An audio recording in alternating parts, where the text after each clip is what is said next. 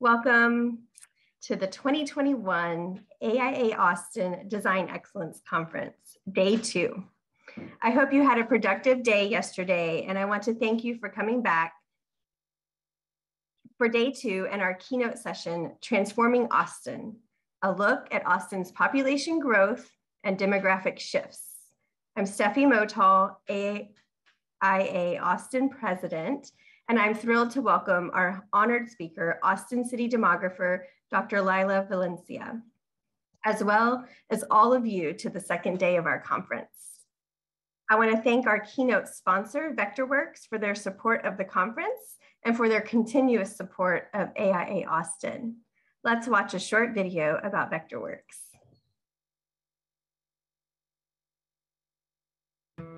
What would you do with design software that works the way you think.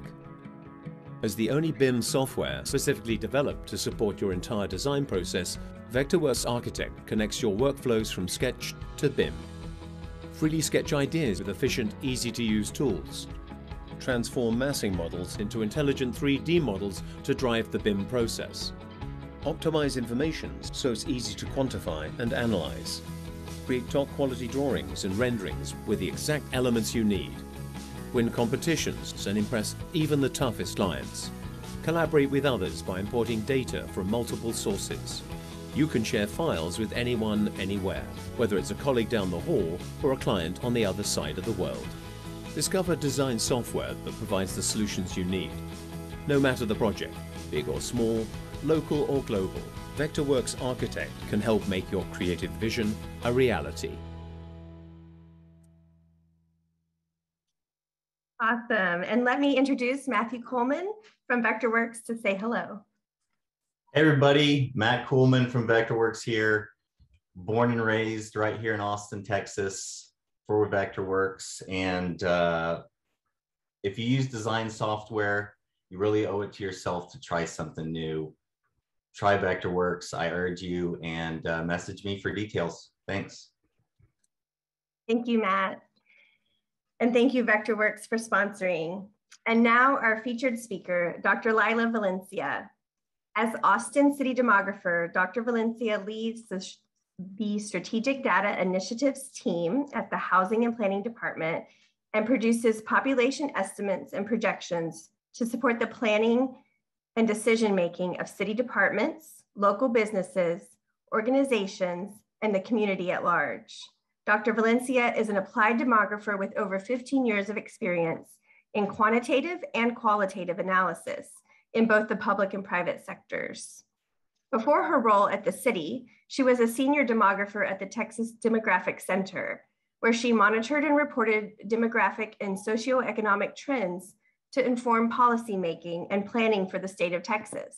She also oversaw product development for the center and led 2020 census coordination efforts with varying stakeholders across the state. Previously, Lila served as senior research analyst and complaint specialist at the City of Austin's Office of the Police Monitor, where she fielded complaints of police misconduct allegations and produced analysis and annual reports documenting these allegations.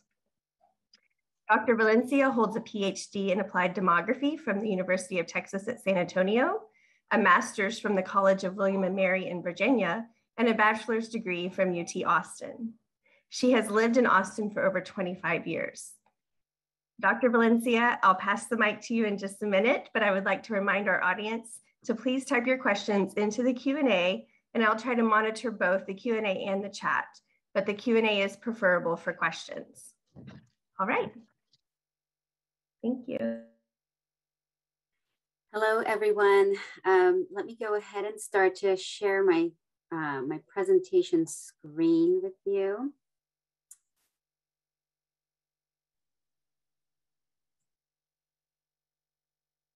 And I'll bring that into presentation mode. Do you see my screen? We see your there. Yes, perfect. Wonderful.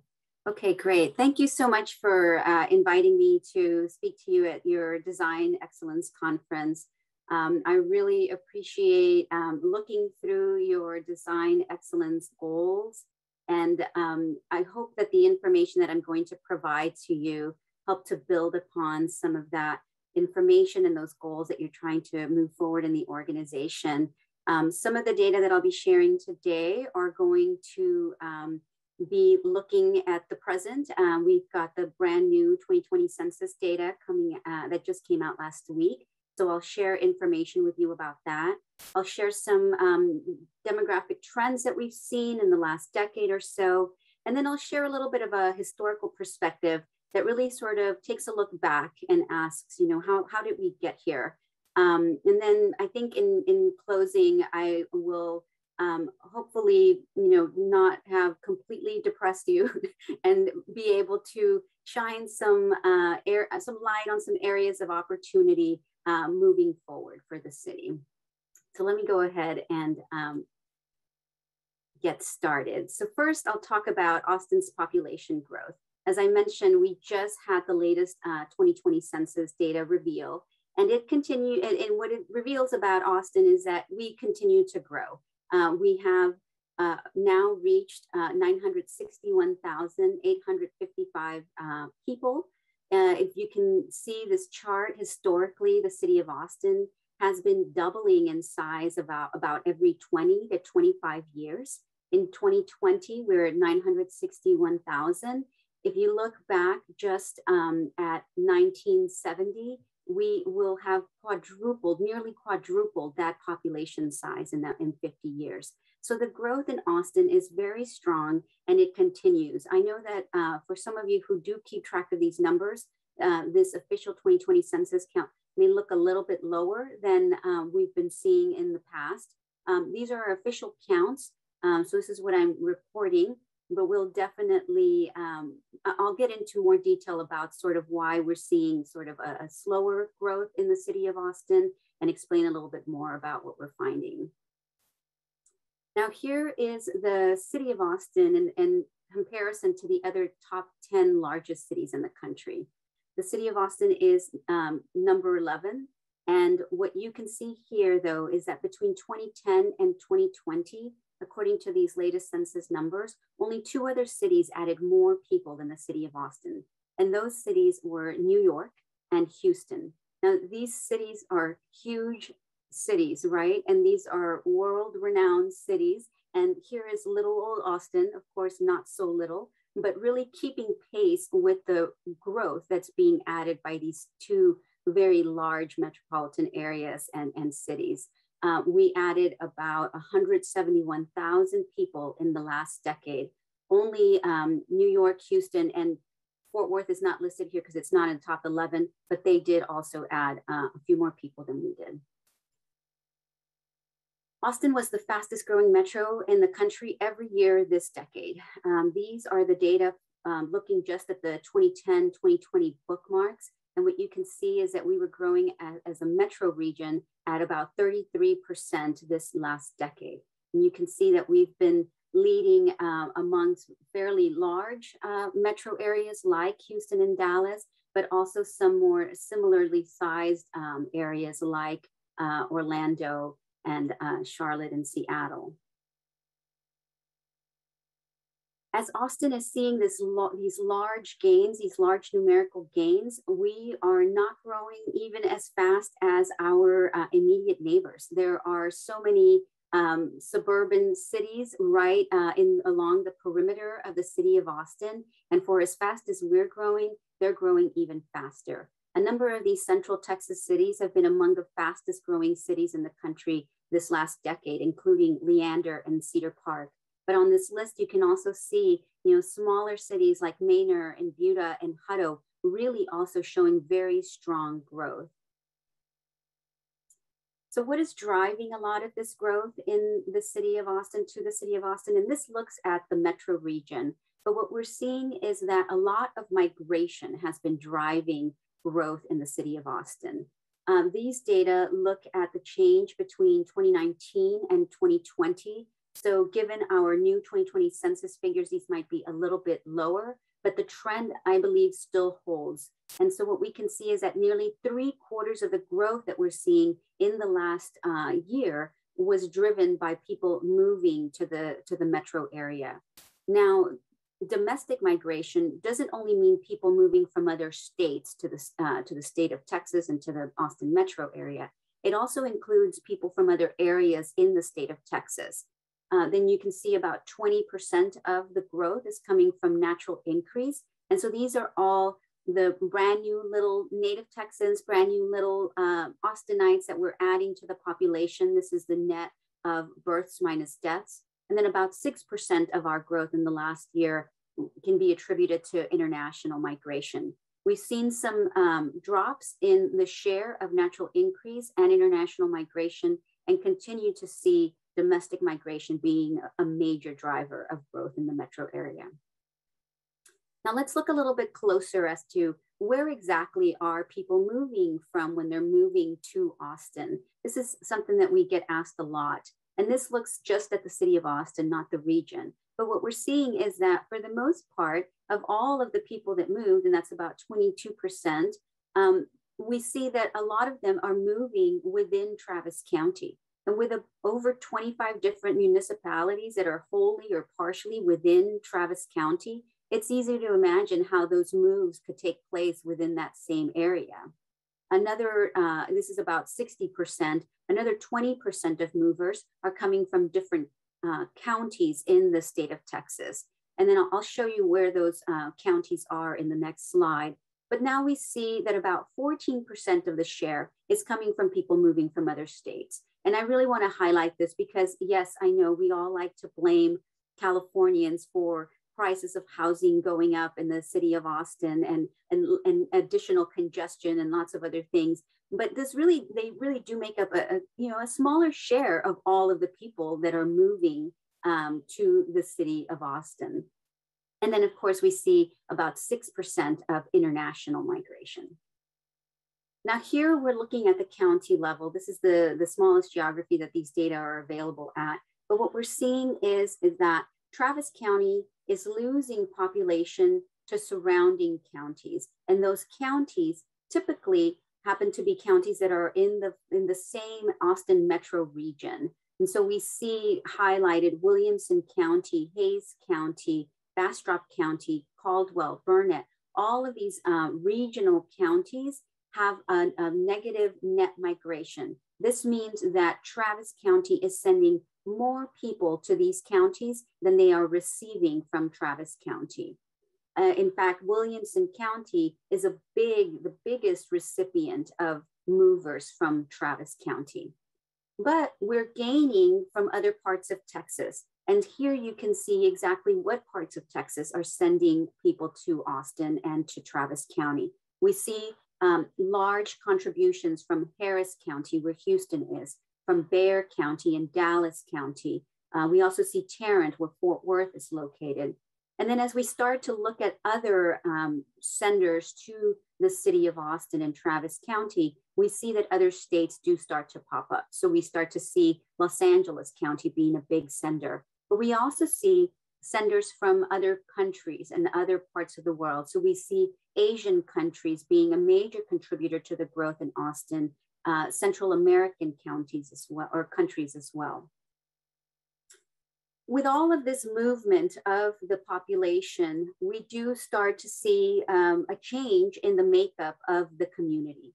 And this um, last decade, the latest census data, what they reveal is that populations of color were really driving the growth of cities in the US and in the state of Texas when we see uh, what's happening in Austin, we see that we have a unique pattern of diversity taking place in Austin.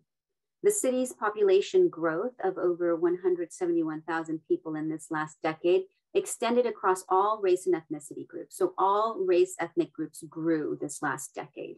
We didn't see any population declines. However, what we saw, uh, and we also see that no racial ethnic group holds a majority or over 50% of the population. But what we do see is that the non Hispanic white population continues to make up the largest share of the city of Austin's total population at 47%. Now, this was a slight drop from about 49% in 2010. The Hispanic population also saw a decrease in its share of about three percentage points from 2010. It now makes up 32% of the city's population. The Asian population is now the third largest race ethnicity group in the city, and it makes up nearly 10% of the total population, up from about 6% in 2010. The Black population now makes up about 7% of the total population, and this is a one percentage decline from the start of the decade or from, uh, from 2010. We also see um, that the two or more races or the multiracial um, category has uh, reached a, a, level of about 4% of total population uh, in the city of Austin. And this is a significant share of the population and one of the fastest growing uh, race and ethnicity groups. And I'll, I'll share a little bit more information on that in the next slide.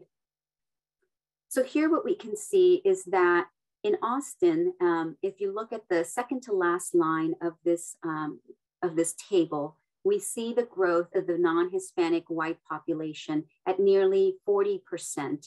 They, um, this is not the rate of growth. Their rate of growth was about 17%, but this is the um, contribution of the total change in the city of Austin between 2010 and 2020. And so this the non-Hispanic white population was a major driver of the growth of the city of Austin in this last decade. Now, this is during a time when the country as a whole experienced a decline for the first time in 230 years of people identifying as non-Hispanic white. So seeing such strong non-Hispanic white driven growth in the Austin community is pretty significant. Another uh, line that I want to draw your attention to in this table is um, the Asian population. They were the fastest growing single race um, group in, in, this, in the city of Austin. They grew at a rate of about 75%, and they made up over 20% of the total growth in the last decade. So of every uh, every five people that moved to the city of Austin or that were added to the city of Austin, one of them was of Asian descent. Another fast um, growing race ethnicity group is the multiracial group or the two or more races group. This um, growth is a trend that we've seen in the past. Um, so we knew that it was a fast growing uh, race ethnicity category, but what makes it pretty significant is that it really increased its rate in, in, um, in growth, and it now makes up about 4% of the total population. Some of this um, change between 2010 and 2020 can be attributed to changes in the way the Census Bureau did some of its coding, but a lot of it does come from more and more people really opting to not just pick one box and instead um, really wanting to be more expressive and more um, explicit about how they self identify. And it's not in the typical dichotomous way that we typically see or have seen when we look at survey data like this. And then lastly, I want to draw your attention to the Hispanic population. They made up about 20% of the growth in the city in the last decade. And this compares with about 50% at the national and state level. And so the Hispanic population in the city of Austin is growing, but it's growing at a much slower rate than it is in other parts of, of the country and the state. And then also I wanna note that the African American population continues to grow, but it's growing at a, at a relatively low, uh, slow rate of growth. And we saw data in other uh, cities in the state, as well as other cities in the South, that really uh, where African Americans were making great contributions, including the city of Dallas and the city of Houston. And so I think with when we look at this table, um, you know, we want to recognize that there is a lot to be celebrated. Uh, we're growing uh, more and you know than most large cities in the state of Texas. Um, only a few uh, Texas cities and, and, and one other uh, major city in the country grew more than the city of Austin. Our Asian population is thriving. Uh, but what we do want to note is that what's happening in Austin is a little bit different, in particular for the African American population and for the Hispanic population. And so I think it's important for us to also, um, you know, reflect on why we may be seeing some of this, uh, some of these different trends. And so a lot of times when we want to understand sort of uh, what's to come in our demographic future, we tend to look at the child population. And so these um, sets of data provided information on the voting age population and the total population. And so at, when we look at the residual, we're able to look at the child population. And what we see is that the child population is much more diverse than the adult population. The adult population looks very similar to the total population as a whole, with the exception that the non-Hispanic white uh, in the adult population does make up at least just over 50% of, of the share of the, the total population. So there is a um, you know, specific majority group when we look at the adult population in the city of Austin. When we look at the child population, non-Hispanic white population makes up about 33%. So about 67% of the child population is, is non-white. So it's much more diverse than uh, the total population for the city. However, one thing that we looked at was comparing the 2020 child population by race and ethnicity with the 2010. And what we noticed was similar with the adult population. The non-Hispanic white population, the Asian population in particular, and the multiracial race ethnicity group really drove growth in the child population. And we actually saw declines in the number of African American and Hispanic children. Now, this is, this is also not a typical pattern.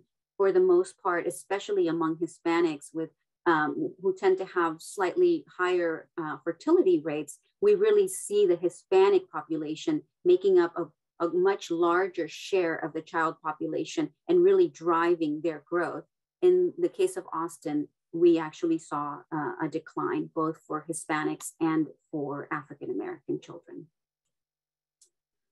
So let's talk a little bit more about where Austinites come from, because I think a lot of times when we start to look at um, racial and ethnic makeup, we start to make assumptions about, you know, well, these people must be from different places, or I wonder where they're from. And so, you know, we break down the data as, as far as we can here by um, looking at um, where are Austinites born. And so we can't tell you if they're born in Austin. And so a shout out to, to Matthew uh, for his Austinite status. I, I, do think that that, you know, um, that population is definitely uh, also probably shrinking in size. And that's not something that we can see from these data, unfortunately, but it's something that we're working to, to understand a little bit better through other um, sources of data. But what we do see here is that the share of Austin residents born uh, in Texas uh, makes up the majority of the, the population of, or the uh, place of origin where people in Austin are, are born. So most are born in the state of Texas. Um, however, we have seen a decline in that share. So compared to 55% in 2010, in 2019, we see that Texans uh, make up about 49% of those that live in the city of Austin.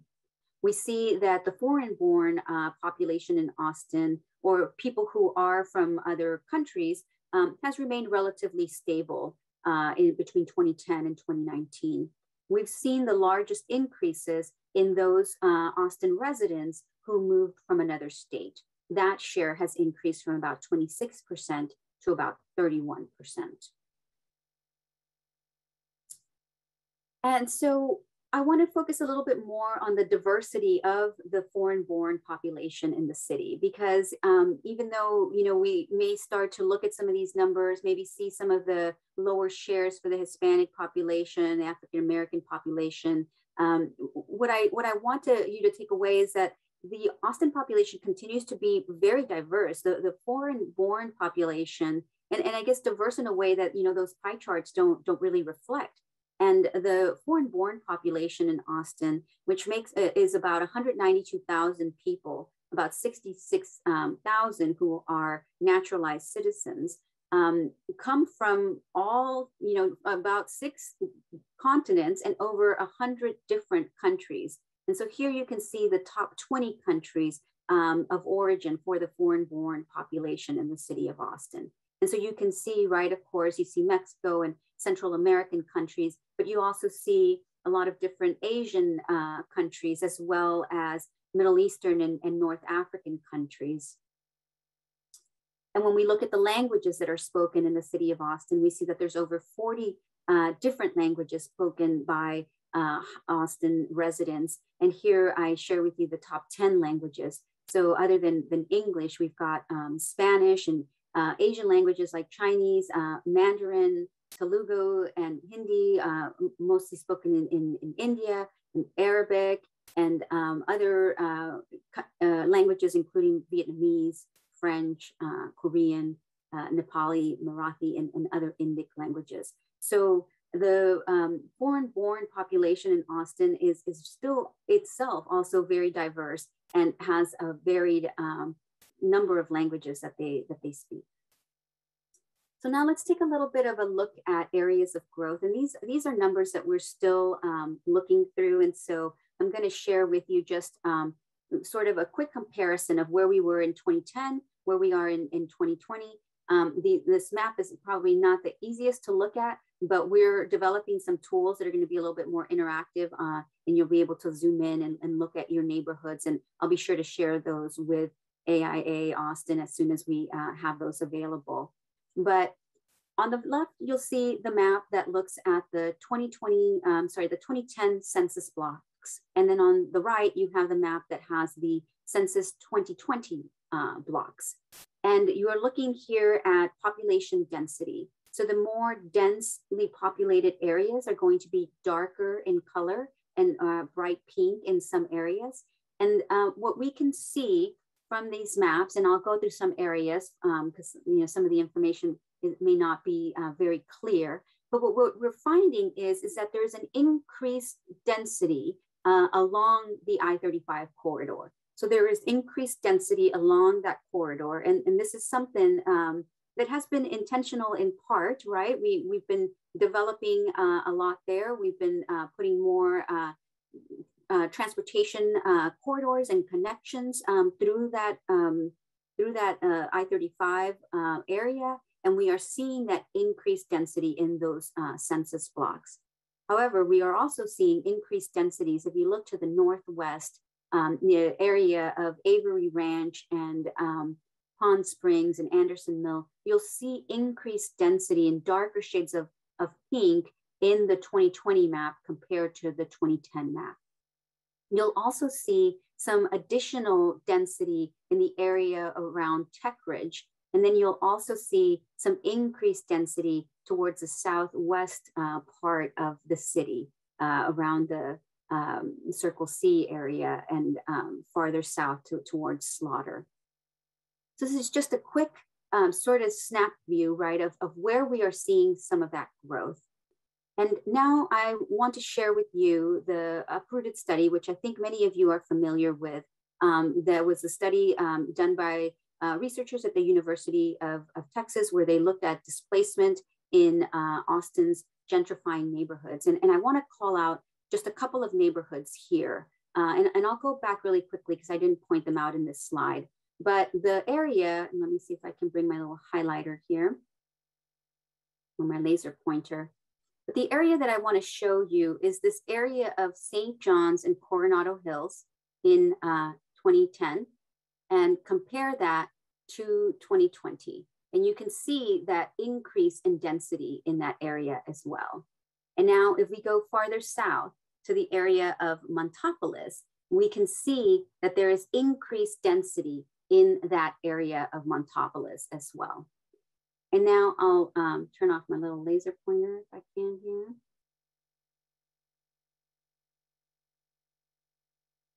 And take you to the next slide.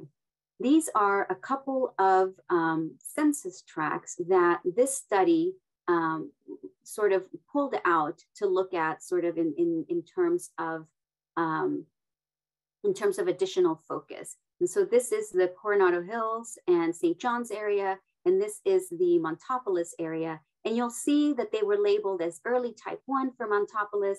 Part of St. John's was early type 1, and then susceptible um, in the light purple. Now we see that those areas have increased in density. And so that starts to suggest to us as we eh, you know, explore um, the data further that, the, that you know, what these researchers were um, predicting might happen and, and these categories of gentrification may in fact be starting to take place. And so I think um, I, my recommendation would be, uh, you know, for us to continue to look at some of these other susceptible areas. Um, I know Easton Park development should be right around here. Um, the Colony Park development right around here, um, Whisper Valley over in this area. These are all areas that are, of course, already um, designated and probably in part as susceptible. Um, and we, you know, should probably um, begin to consider, you know, what what will happen there as this development goes underway and, and starts to um, be built out and what can be done um, when we are engaging in that um, in that development and what might be the, the outcomes of, of that growth. Now, I'm going to share with you some similar maps, but we look at the race ethnicity um, share of population. So here, I'm going to look at the um, geographic distribution of the percent of the Asian population by blocks. And what you'll see in this set of maps, again, 2010 on the left, 2020 on the right, is an increased density uh, of or concentration of the Asian population in the northwest parts of the city. So we see additional um, high increased shares of growth of the Asian community in the Avery Ranch area and the Lakeline area, as well as the Anderson Mill area. When we move over to the um, Tech Ridge area and really uh, farther south, closer to the Pioneer Crossing uh, area, we start to see also some additional um, increases in share in that area. And when we look farther southwest, we start to see increases in shares of the Afri- of the uh, um, Asian population along uh, Barton Creek and um, in, in the Circle C area there as well. This next set of maps looks at the share of the African American population, 2010 on the left, 2020 on the right, and um, the decrease in the shares of the African American population uh, by blocks uh, the, the lightening of that purple color is, is pretty pronounced. Um, and where you see those, um, those drops, and I'll, I'll, pull up my little pointer again, are going to be, of course, in this historic uh, Central Austin, uh, Af historic African American uh, neighborhoods, uh, even parts farther out to the east uh, in MLK. When we look at the LBJ area, we now start to see all of these areas have significantly lower shares of African American uh, population.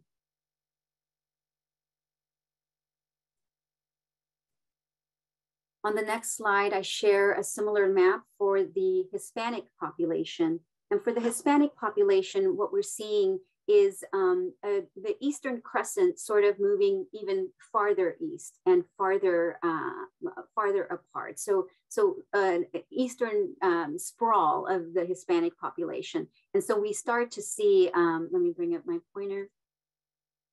So we start to see um, some increased uh, density in the um, share of the Hispanic population in areas around uh, Windsor Hills and um, we see a, an increased um, share of the population that's Hispanic and even in, uh, higher increase in the share than we were seeing in the North Lamar area. Then we start to see uh, some increased um, shares in the farther east of the airport than we saw in 2010. And then we start to see um, significant drops in the share of the Hispanic population in historic uh, East Austin, we see uh, much lighter shades of orange there. And we also start to see that in the Montopolis area, where we used to have higher concentrations of Hispanic population. We are now seeing those areas also start to turn uh, a little bit lighter orange, uh, lower shares of Hispanic population there.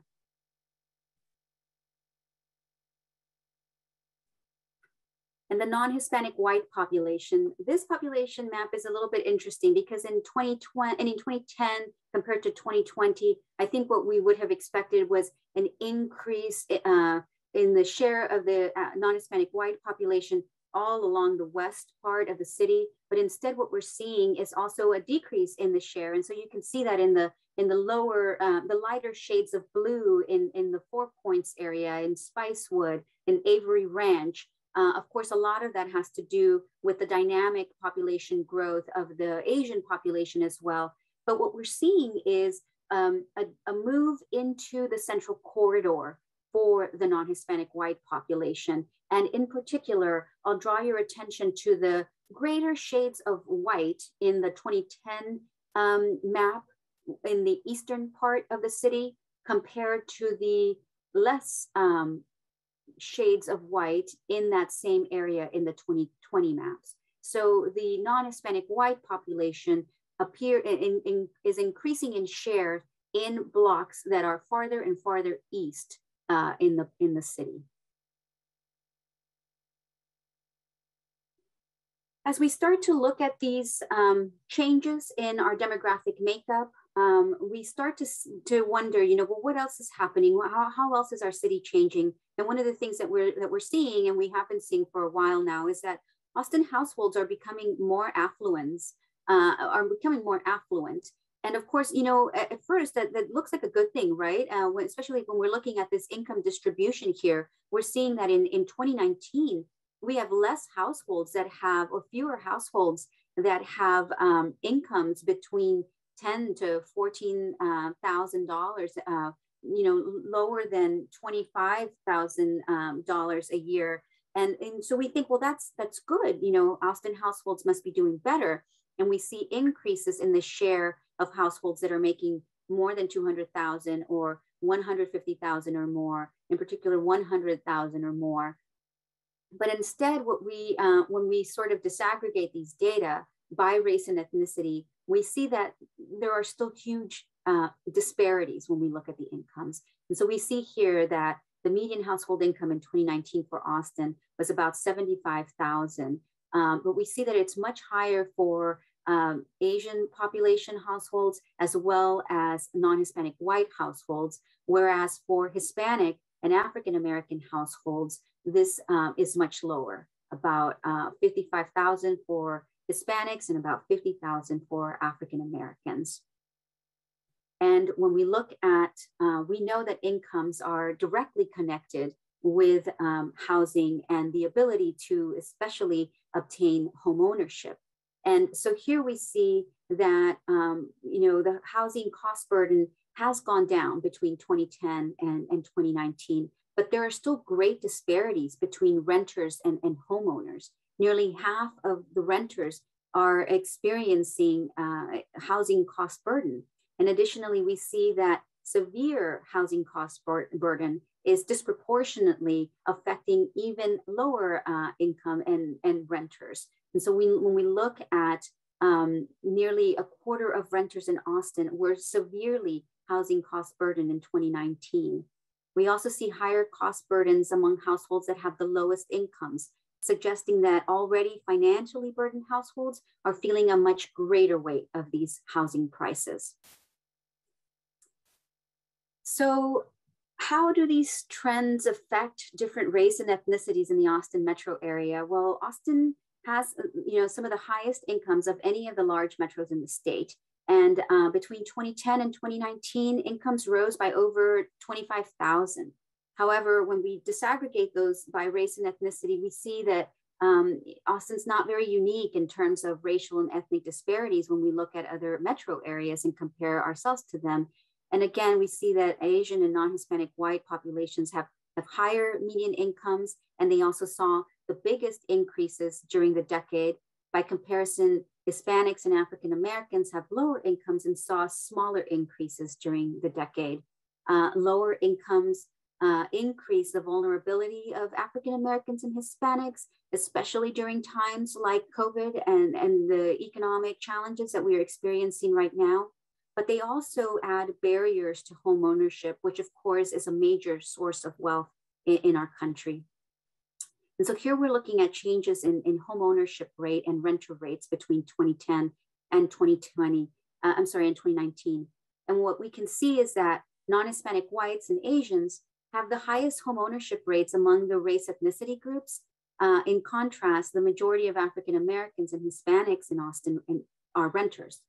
And although homeownership uh, rents have increased for Asians and Hispanics, homeownership rates have, have actually dropped both for non-Hispanic whites and for Blacks. However, homeownership rates overall for non-Hispanic whites are at, at 64%, are much higher than they are for African Americans at 39%. And, and, in fact, the gap between uh, Black and white homeownership has increased between 2010 and 2019 even with that slight drop in white homeownership. So some researchers worry also that increases in Hispanic ownership could be threatened by the current state of, um, uh, of, of, of, housing prices in the city of Austin, but also by the disproportionate um, impact of COVID-19, not being able to compete in such a tight market and also being more uh, disproportionately affected economically by the pandemic. Uh, so so these disparities in home ownership have existed, of course, long before this decade, right? Uh, and so, you know, what, what could be behind some of this? And this uh, part of the question is, is how did we get here? Uh, and there was a study, let me go back just one slide. There, there was a study that, that looked at, um, I'm sorry, maybe I didn't include it here. But there was a study uh, out of the Urban Institute that really that looked into the differences in home ownership between African Americans and non-Hispanic whites in particular. And absolutely, there were definite um, socioeconomic uh, characteristics, household characteristics that were associated with home ownership. So not having the savings to be able to uh, put down a, um, a, down payment, uh, not having um, uh, support from other family members to be able to, to help with the covering of those down payments, um, differences in credit scores.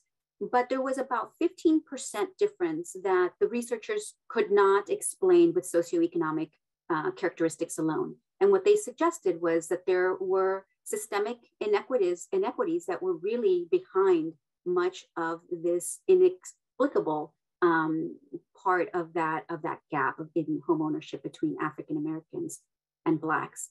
And so I think in the last few minutes that I have here, what I want to do is to just take a little bit of a look back, right? Um, in demography, we talk a lot about demographic um, destiny, uh, demographics and destiny.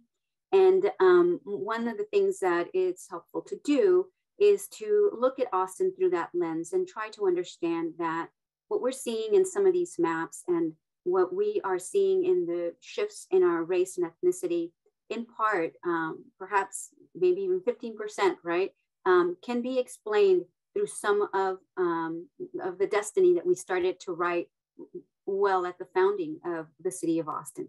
And so here is the city of Austin plan. Um, we see in, 19, in 1839, um, there was a population of about 553 people. The plan, of course, had um, allocated land to the future capital, uh, four public squares, a courthouse, a, a jail, a penitentiary, and uh, hospitals and, and, an armory. As we move forward, we see uh, Austin here nestled between the Edwards Plateau and the Blackland Prairie to the, to the east, and these may be maps uh, that you may have seen before, historical uh, maps. But what you, what I'll draw your attention to is um, right in the in the center, you can see the the Capitol building, and then farther north, you see the University of Texas, uh, the original 40 acres, and then over in the corner, we see uh, the beginnings of, of Hyde Park, the, the plans for uh, Hyde Park.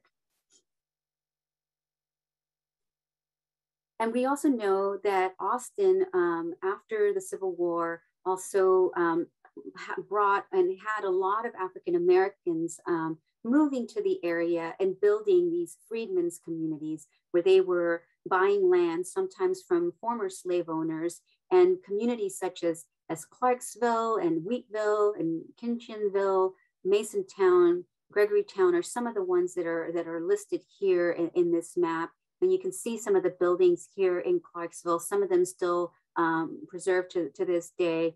And um, so the African American population in Austin from the very beginning was a, a thriving population.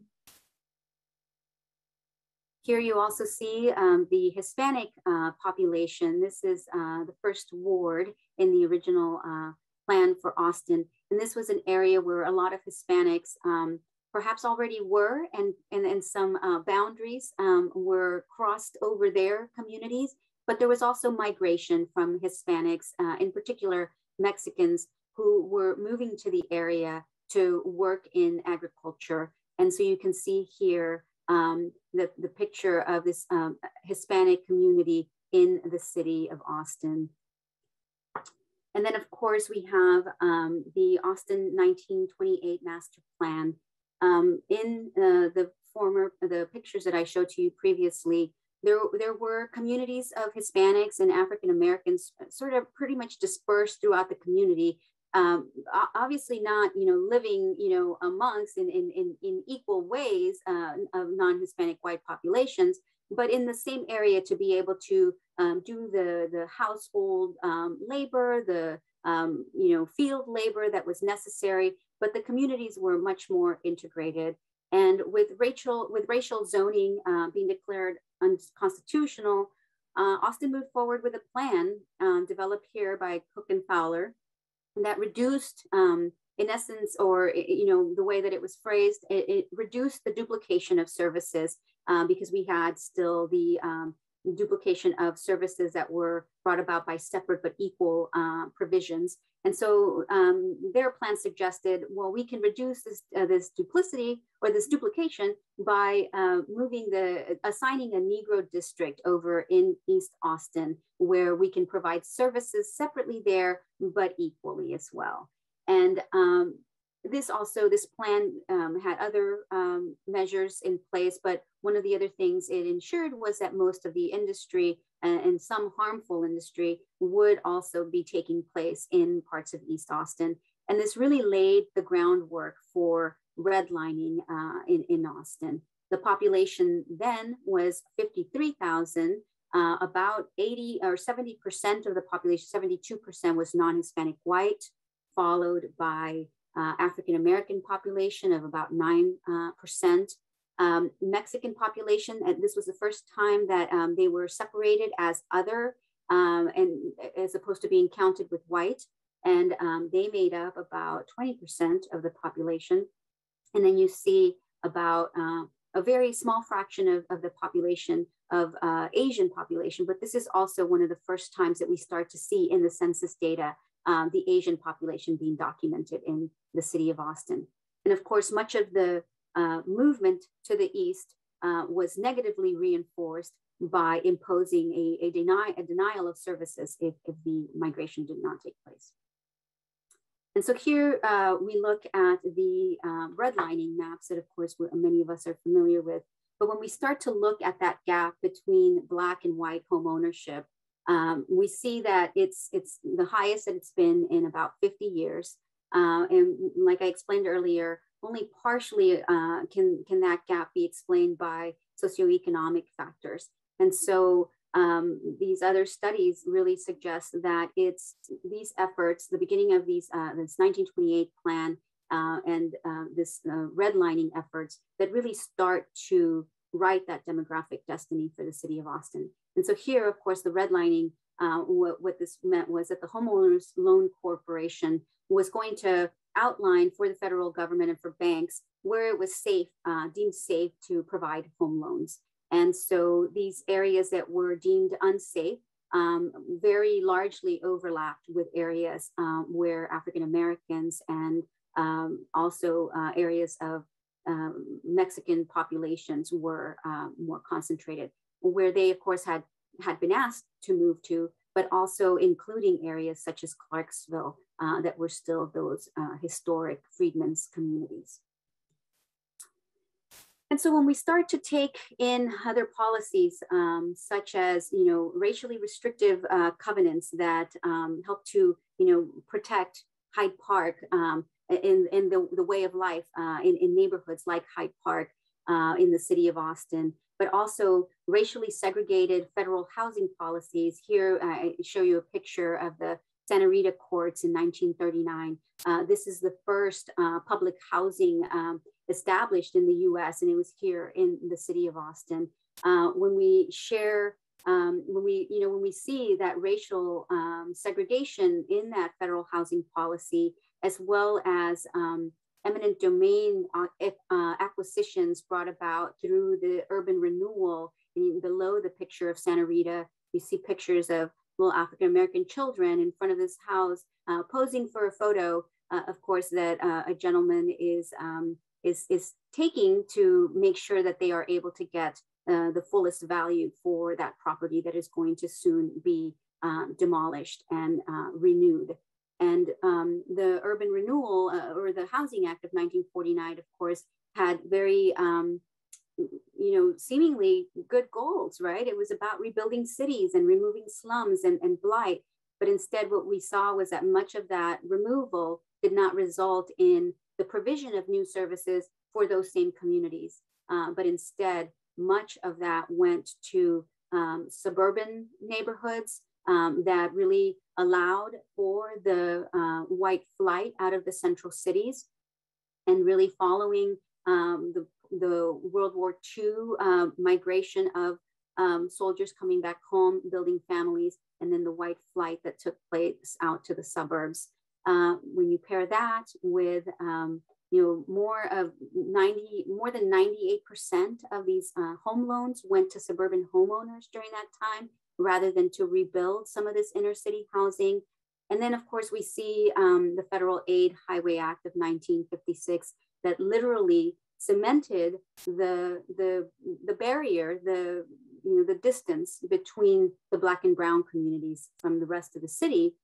Then that, that demographic destiny, you know, is really, is really, you know, continuing to build upon itself.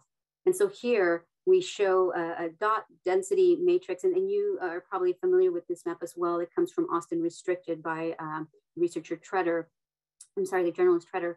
And so what you're what you're looking at here is a dot density map of racial identification from the at the census block levels that looks at the white population in blue, black in pink, Hispanic in brown, and then of course East Avenue or I-35 and what you can see is that many of those same areas that were redlined um, continue to be um, highly uh, concentrated areas of African Americans and Hispanics. But as we start to, you know, these um, new policies start to take place and really build upon themselves, um, you start to see a diminishing of those uh, populations. And I'll share really quickly a quote from the Uprooted study from the researchers at UT Austin uh, on displacement. And, and, they describe displacement as having two dimensions. Um, one that looks at the stability of a neighborhood's residential community, and then the harder to define culture or character of the neighborhood. And then cultural displacement, they define, of course, occurs through both the loss of community of residents, but also a loss of the features that gave that place social meaning and allowed the residents to continue to live there in similar ways. And when many of those landmarks and um, and and you know, other icons of, of symbology are removed, then even the folks that remain find it a little bit of an alien place to be. Here's a quote from Wilhelmina Delco, the Honorable Wilhelmina Delco in, in the book uh, Fault Lines. And what she says is, what I fear most is that one day my grandchildren and great grandchildren we'll never know that a thriving Black community ever existed in East Austin. And so as we move forward to more contemporary plans, I, you know, ask you to consider sort of this issue of displacement, right? Not just the physical movement of, of bodies, but also the symbology. And so, you know, right now, one of the key um, focal points in the uh, Palm District, of course, is the is the Palm School, originally founded uh, and, and um, it was a, a school for um, Mexican American community. Of course, I-35 cut that community's connection to the school and then um, the, the Palm School was closed in the 70s and uh, moved to Sanchez Elementary.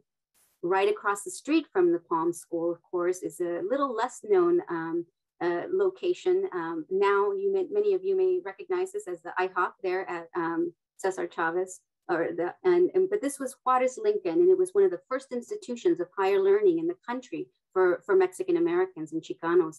It was founded in 71, moved to this location in 75, and then of course closed in 1979 to much protest. Um, this is a, a, an image of the mural that was on the wall of one of the, of the Juarez Lincoln School um, by Raul Valdez.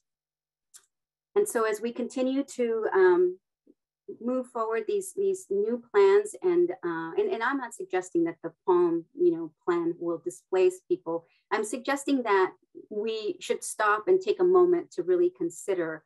Um, and I think that this conference is doing exactly that. I think that you are starting that conversation, and I think that the where I see hope right is that you know we look at those maps and we see sort of the shrinking shares of both the african american population and the Hispanic population.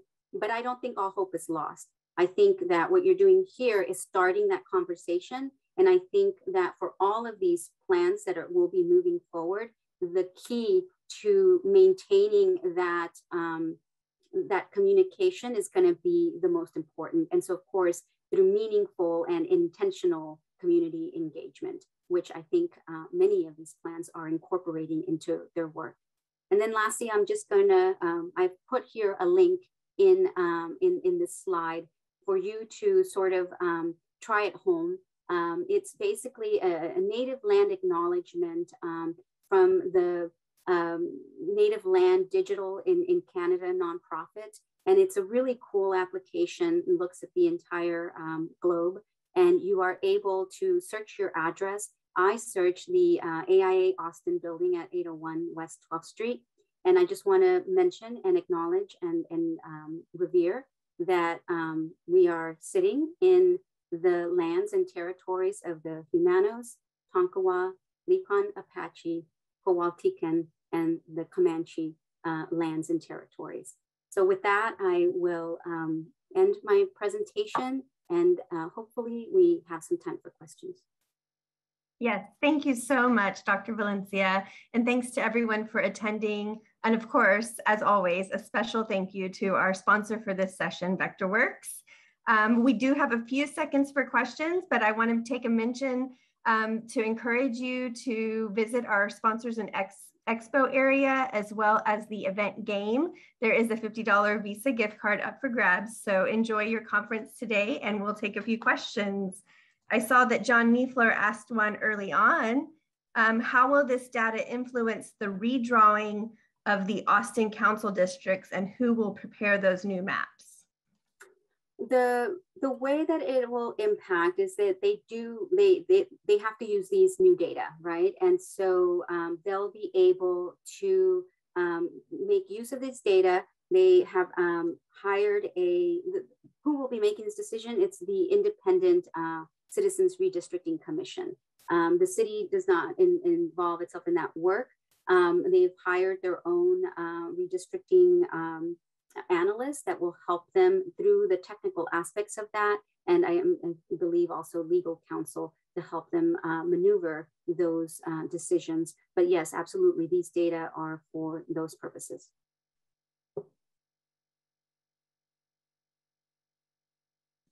Stephanie, you're muted. Sorry.